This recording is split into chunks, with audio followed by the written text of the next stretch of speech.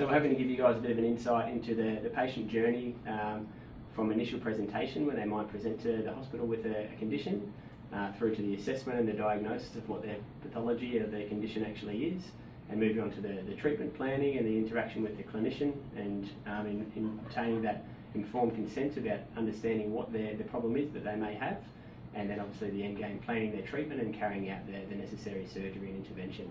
Um, Lily is this patient that I met today at the emergency department and she came in with a little bit of abdominal pain. So we're just trying to get to the bottom of what exactly it is by putting her through the CT scanner which Michael's helping her with right now. So this is the scan that was taken the last time you came to radiology. Michael's just going to walk through it with us now. So as you can see, you have an aneurysm that we need to fix. Oh, okay.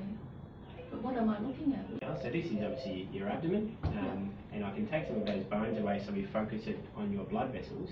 And we're having a look at the blood vessels, you start to be able to appreciate that there's a, this bulging area here. So Is this what is inside my body? Yes, this is exactly Ah, what's inside okay. you to scale. All right, okay. So this is the bit that you want to fix. Yes, that's correct. Thank you. Yeah, yeah that makes a lot more sense than looking at that.